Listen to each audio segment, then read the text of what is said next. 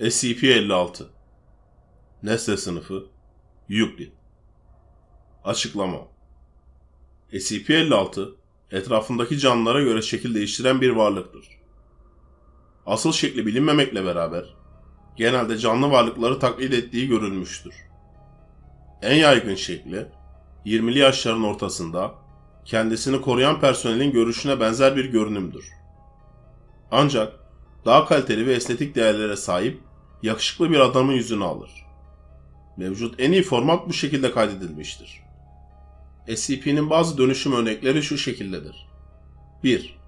Dr. G'nin köpeğine maruz kaldığında büyük, bakımlı bir Golden Retriever şekline bürünmüştür.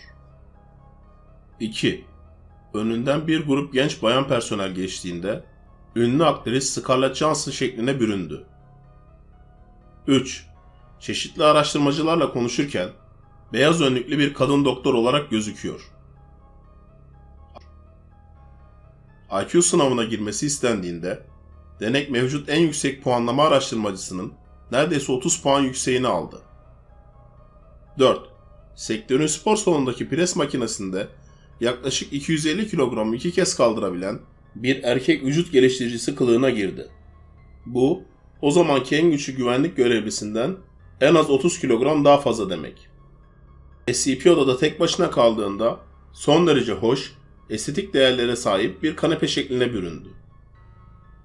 Bu değişiklikler genelde bölgedeki tüm insanların SCP-56'ya odaklanmalarını kaybettikleri anda ortaya çıkar. Ve bu da SCP'nin bütün dikkatleri üzerine çekmesine neden olur. Bu süre zarfında kıyafetler de değişecektir. Ancak SCP-56 henüz herhangi bir alet veya silah taklit etmemiştir. SCP'nin orijinal veya doğal biçimini görüntülemek teorik olarak imkansızdır. Boş, beton bir hücrede ve kapalı devre video gözetimi altında bırakıldığında daha kaliteli bir kamera şeklini alır. Doğal halini elde etmeye yönelik başka girişimler, yalnız olduklarında vücut ısısı, kalp atışı veya ağırlık dahil olmak üzere okunulabilir yaşam belirtileri olmadığını keşfetti. Araştırmacılar tarafından herhangi bir algı olmadan var olamayacağı varsayılmıştır. SCP ile temas eden personel genellikle kıskanç veya tatminsiz hissettiğini bildirir. Ancak ancak personeller SCP-56'ya hem olumlu hem de olumsuz bir ilgi gösterecektir.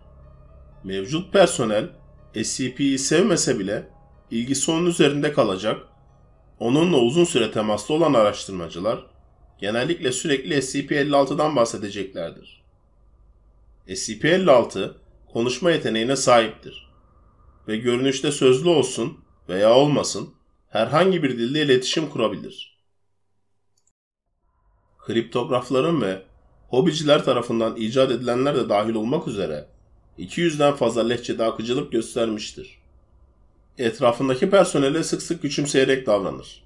Ancak genel olarak kendisine sorulan her şeyi yapmaya istekli olmakla birlikte sorgulama itaatkar bir şekilde yapıldığı sürece dergi, moda, otomobil, teorik bilim, spor ve diğer birçok konuya ilgili olduğunu ifade eder.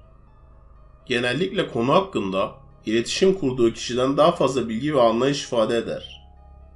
Personel uzun süre konuştuktan sonra SCP-56'ya sinirlenecek, iğneleyecek ve mümkünse tekrar konuşmayı deneyecektir. Diğer SCP'ler hakkında sorgulandığı zaman SCP sinirlenir ve konuyu yine kendine çevirir. Özel saklama prosedürleri SCP-56 istediği mobilyayı istediği şekilde dile getirdiği bir odada tutulmalıdır. Birinci seviye personel ve daha üstü SCP-56 ile istedikleri zaman 2 saati geçmeyen bir süre boyunca etkileşime girebilir. SCP her 4 saatte bir vardiya değişikliğiyle her zaman 3 güvenlik personeli tarafından korunmalıdır. Her bir koruyucu en az 1500 ml sakinleştirici yüklü, ölümcül olmayan sakinleştirici tabancalarla donatılmalıdır. SCP-56'ya uzun süre maruz kalınmasıyla ortaya çıkan personeldeki herhangi bir düzensizlik, psikolojik incelemeyle sonuçlanacaktır. SCP'nin silah, iletişim cihazları, internet bağlantısı ve diğer SCP nesneleri hariç olmak üzere istediği herhangi bir nesneye erişimine izin verilebilir. Araştırma sektöründe istediği gibi dolaşabilir. Ancak çıkışlı zeminlerde asla erişimine izin verilemez.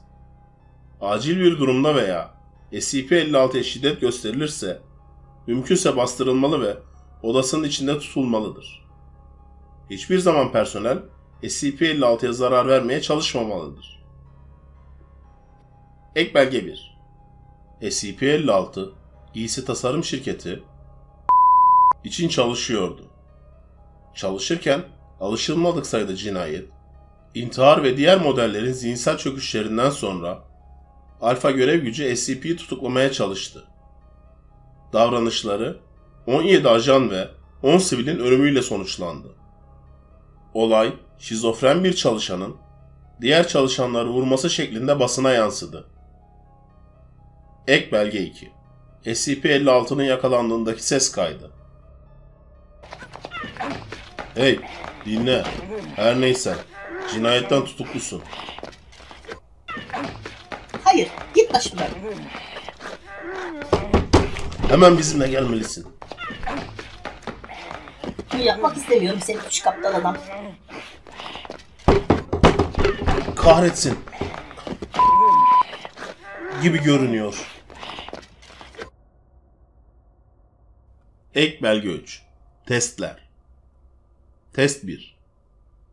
Bir D sınıfı personel bıçakla silahlandırıldı.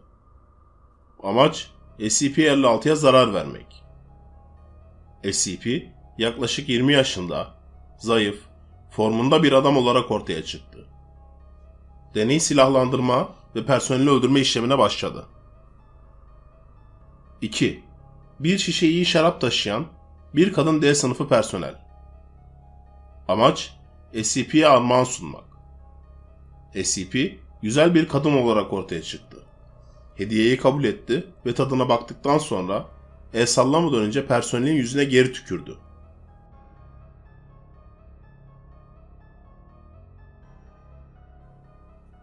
Bir erkek ve bir kadın D sınıfı personel. Denekler hiçbir şey yapmıyor. SCP iyi tasarlanmış bir iş elbisesi içinde güzel bir kadın olarak ortaya çıktı. Her iki personel de inceledi. Sonra da kovdu. 4. 10 erkek D sınıfı personel. Personellere herhangi bir amaç söylenmedi. SCP çok kısa kırmızı bir elbise giyinmiş, güzel bir kadın olarak ortaya çıktı. Yaklaşık 10 dakika sonra tüm personel tahrik belirtileri göstermeye başladı ve 5 dakika sonra kavgalar çıktı. Test 5 Bir kadın seviye 4 personel. Muhtemelen tesiste bulunan en güzel kadın. Denek hiçbir şey taşımıyor ve hiçbir şey yapmıyor. SCP son derece estetik açıdan hoş bir kadın gibi göründü ve geniş bir sözlük ve yönetim becerileri anlayışı sergiledi.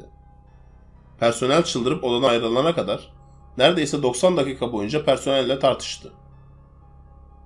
Ek belge 4 Doktor Kenneth'ten notlar. Kısa süre önce SCP-56'nın tekrar tekrar internet erişimi istediği konusunda bilgilendirildim. 56'ya bu durumu sorduğumda bana kendine yetişemediğimizi ve bütün dünyanın SCP-56'nın yüzünü görmeyi istediğini söyledi. Söylemeye gerek yok. İstek reddedildi.